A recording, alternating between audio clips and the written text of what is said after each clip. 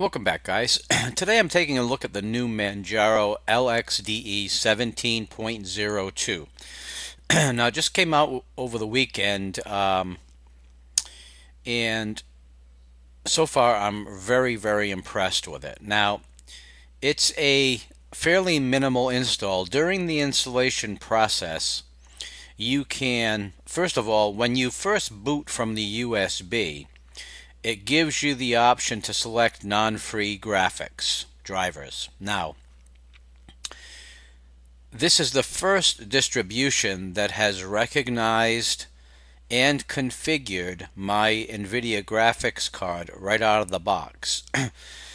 um, just recently I changed graphics cards. I went from the uh, NVIDIA GeForce GT40 to the NVIDIA G, uh, GeForce GTX 1050 Ti. The, the drivers are different, and Ubuntu, I can install the graphics easily with their driver manager. Um, with Debian, it's a manual installation process. But with Manjaro LXDE, the once I select non-free graphics during the install process, once I boot into my the first boot into the operating system, the NVIDIA my NVIDIA graphics card is recognized and configured perfectly right out of the box. I don't have to do anything to it. So that's a major plus in my opinion. Number two, uh, my Realtek Wi-Fi is installed through Yaourt and that's a fairly easy installation process. Once I reboot, have my Realtek Wi-Fi working. So right off the bat, I'm extremely impressed in the ability to configure your uh, Wi-Fi and graphics uh, devices and drivers. So, as I said during the install, it's you, you can pick the applications that you want to install. It sets them up in various categories and you can pick the ones you want. For example, if you don't want to install LibreOffice, you don't have to. You can uncheck that. And so what you end up with is more of a, an installation that you uh, determine what applications get installed. Then once you boot into your first um, boot after install, you can go ahead and install whatever packages you like. As with uh, some other applica or other distributions, you don't have a lot of bloat. You don't have a lot of things that you have no use for which is really really good. Now LXDE, as you know, is a is a lightweight, uh, really quick desktop environment. I like uh, the way LXDE looks and feels. It just feels extremely snappy, and Manjaro LXDE is no exception. Now, I made a few notes because there are some things that you should be aware of. Number one, um, I said it was a minimal install. You can pick your apps. The default icons are Moka, and that's what you see here. Uh, the default theme, I believe, is Vertex Maia. Now, normally when I install an LXDE distribution, I have to uh, modify the XML file, the configure OpenBox configuration file, uh, so that my keyboard volume keys work. Normally they don't work out of the box, but with Manjaro LXDE, and I'm going to show you that, as you can see, up in the top right you can see the volume changes and I'm doing that with the uh, volume keys on my keyboard. So that works right out of the box. Now normally I prefer to have all windows centered. So I, I did have to manually uh, edit the configuration file to, to enable centering of new windows versus smart placement. So as you can see when I click on applications, I'm going to get centering of the windows.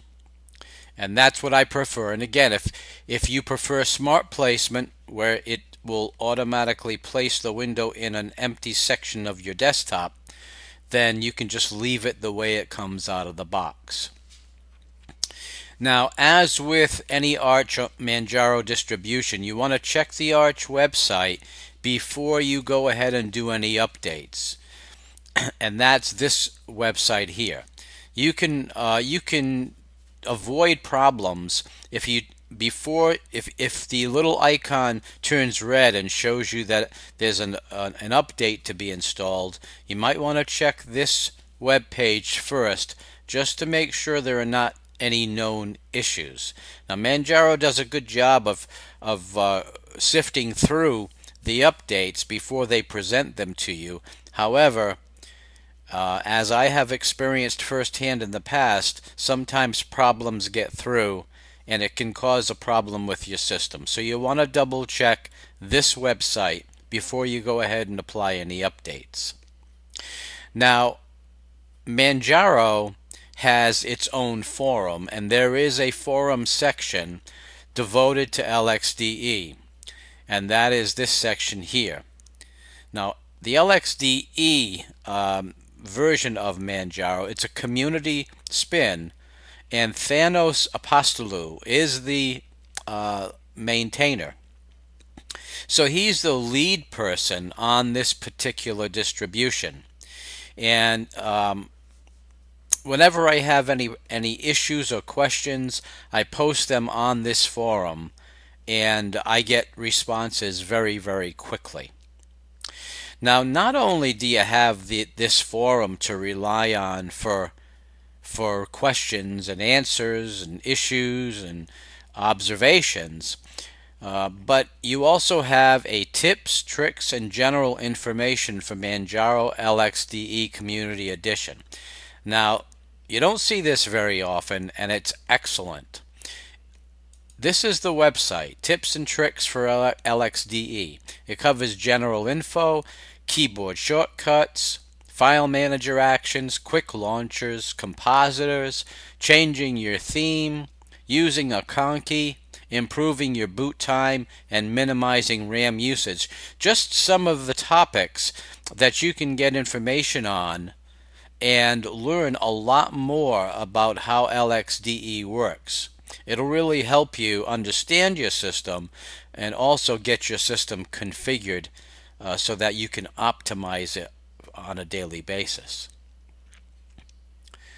Now, the, the forum also, as a side note, it has a um, theme, a dark theme. So, for example, if I want to change this in my Firefox, and I believe this works pretty well with most browsers, um, you, you, what you do is you need to have an account.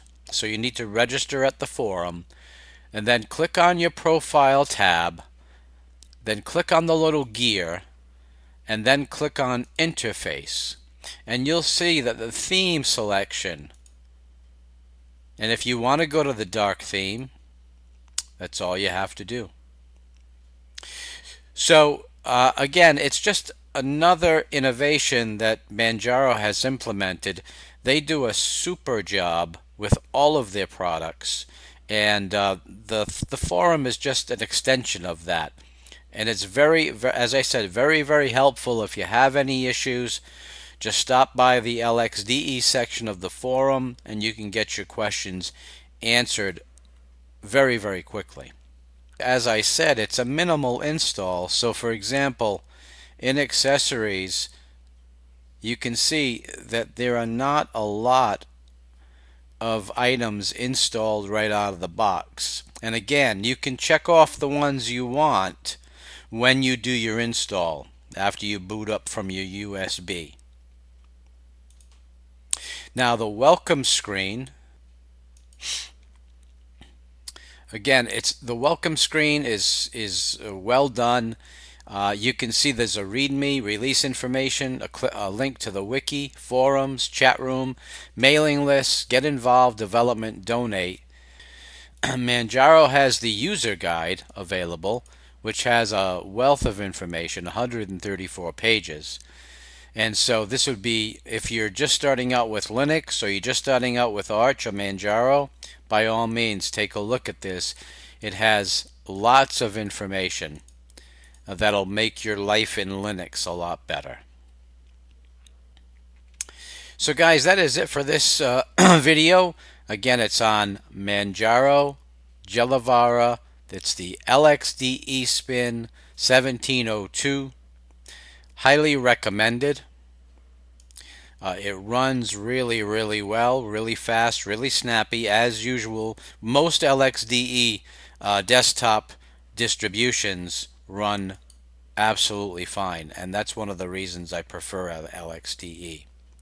So guys, thanks for stopping by the channel today. Please rate, comment, and subscribe, and I'll see you soon. Take care.